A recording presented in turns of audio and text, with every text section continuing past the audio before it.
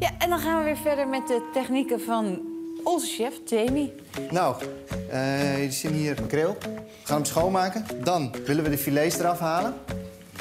Dan maak je vast een snee langs de rug, langs de vinnetjes, helemaal van de kop tot aan de staart. Snij hem achter de vin in. En omdat het mooiste van eh, de filet is eigenlijk altijd de rug. Het, eh, dat is het mooiste van de vis. Om dat zoveel mogelijk over te houden, snij hem ook schuin weg, zo dicht mogelijk langs de kop.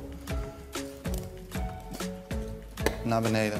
Ik vind het echt vet om eh, zo bezig eh, te zien met die eh makreel, hoe hij dat doet met souplesse en makkelijkheid, zeg maar. Dan denk ik bij mezelf, ja, kan ik dat ook maar. Ik heb hem schoongemaakt.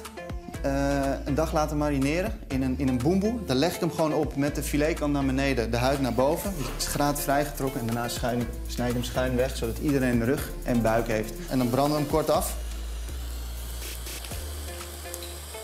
Hij trekt een heel klein beetje samen, maar het geeft gewoon net even een heel klein beetje die, die roastingsmaak. Ja, het neigt echt tegen barbecue aan, alleen dit kan je gewoon alle minuut kan je die, eh, die brandsmaak erop krijgen.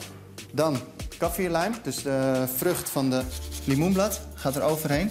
En dan heb ik pindaatjes gemaakt, misschien wel bekend, eh katjang pedis. En die gaat er overheen. Dus we stoppen alle kruiden van de boemboe nog een keer in de pindaatjes. En dan hebben we een heel mooi makreeltje in een eh, licht geroosterd jasje met pindaatjes en alle kruiden daar weer terug bij.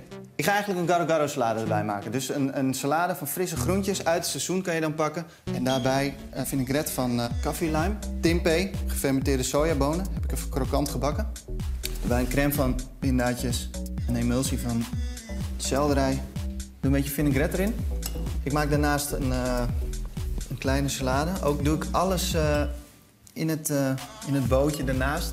Zodat je zo meteen bijna wordt gedwongen het samen te eten. Ja, het is heel inspirerend om zo'n kok als Jamie aan de slag te zien. En eh, vooral om te horen wat zijn filosofie is erbij. Dat is heel gaaf om te zien. Onwijs gaaf om te zien, maar werkelijk een genot als je dit sterrenhapje proeft.